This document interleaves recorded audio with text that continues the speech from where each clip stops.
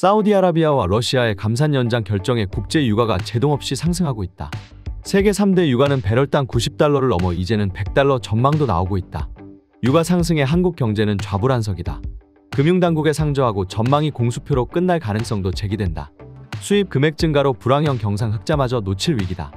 20일 한국석유공사 유가 정보서비스 오피넷에 따르면 브렌트유의 가격이 배럴당 94.34달러를 기록했다. 이날 브렌트유는 장중 95달러를 넘어서며 작년 11월 이후 10개월 만에 최고치를 기록했다. 이날 3대 국제유가 중 하나인 두바이유도 배럴당 95.15달러를 기록했다. 국제유가는 작년 2월 러시아, 우크라이나 전쟁 이후 배럴당 123.7달러까지 치솟았다. 미국의 대규모 전략 비축유 방출로 유가는 배럴당 100달러 선 밑에 안착하기도 했지만 본격적으로 유가가 하락세에 진입한 것은 연방준비제도가 작년 6월 28년 만에 자이언트 스텝을 단행한 이후부터다. 세 번째 0.75%포인트 인상이 있던 10월 말에서야 유가는 80달러 아래를 밑돌았다. 중국과 일본을 제외한 대부분의 국가가 고강도 긴축으로 경기 둔화 국면에 들었다.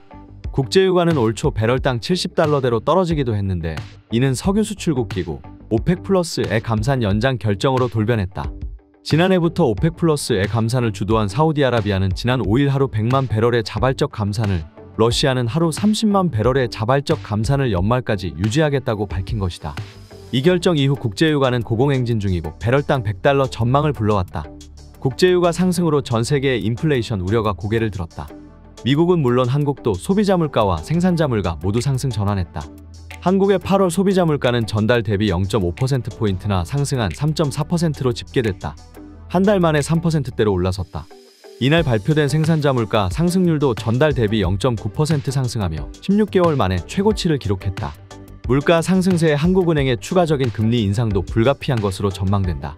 정규철 한국개발연구원 경제전망실장은 최근 한두 달 유가 상승 흐름만을 가지고 물가 안정 흐름 전체가 바뀌지는 않을 것이라면서도 상승세가 길어지면 경기 전반의 파급력이 향상되면서 물가가 다시 불안정해질 가능성도 있다고 전망했다.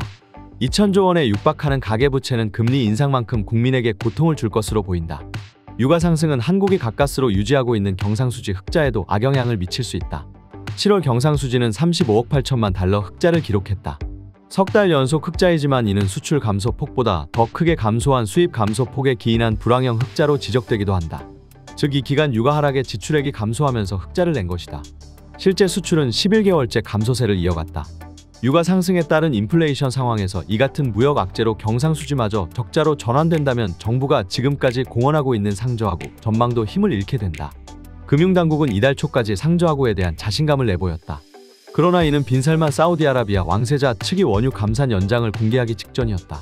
추경호 경제부총리 겸 기획재정부 장관은 지난 3일 공식 석상에서 늦어도 10월경부터 수출이 플러스로 돌아서기 시작하는 등 대외가 주력이 되는 경기 회복세가 가시화될 것이라면서 특히 주력인 반도체는 9월 이후부터 서서히 회복될 것이라고 전망했다.